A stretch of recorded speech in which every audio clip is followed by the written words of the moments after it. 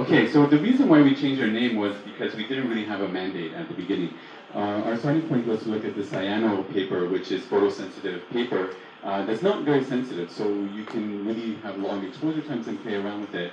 And the starting point was to really think about what can we do with this paper. I'm a biologist, and we have an artist, and we have an electrical maker, and the question was, what um, is this something we can pull around with this material? And I was a little bit inspired by the, um, the idea of using the material to uh, first off think about the quantifiable self, which is the ability for people to observe and react to their own bodily measurements. And one of the most typical things we measure are bodily fluids. So if you go to the doctor think one of the most typical things is a blood test.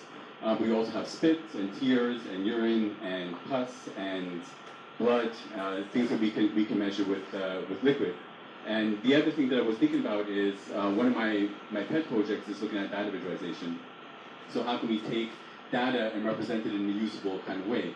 And what we decided to do was to use the cyanobacterium, and we built a contraption here, um, which is going to measure the salt content in whatever liquid that we feed it. Um, so here is, um, that's actually my spit, uh, but it could be any bodily fluid that you want to feed in to the system, and this is the contraption that, that we have built. And so uh, the first thing that we needed to do was to think about setting kind of a standardization uh, calibration curve um, in the normal range of human salt uh, blood concentration, which turns out to be about 9 grams per liter, which is about 154 millimole per liter.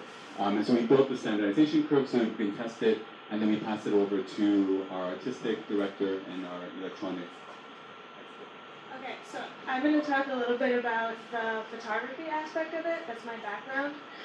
Um, and that's kind of the reason we all got together. Uh, so the initial sort of interest we all had was in the material. And so a lot of the tests I did initially were, um, I've done, I've worked a lot with cyanotype before, and so I already have a background in um, it, but from a really aesthetic standpoint.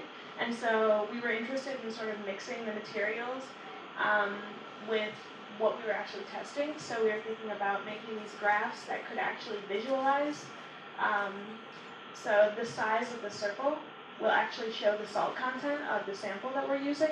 So the smaller the uh, aperture goes, that is um, affected by the conductivity of the sample. And so we were also, the actual, uh, if you look closely at these, we'll have them showing later, uh, we were using, we were making contact prints and the photographs that we were making them of was of salt as well. So we were making photographs of salt using uh, samples that were conducted because of salt. So we like the idea of like repeating that. So uh, I guess we are, our time is up, so I don't have to, time to tell how it works in detail. But if you want to test your own liquids, how to make beautiful pictures, paper pictures that you can take home with your nasty bodily liquids, join us in the yard. I can tell, explain there how it all works. There's an Arduino servo and a high power LED to give you a hint.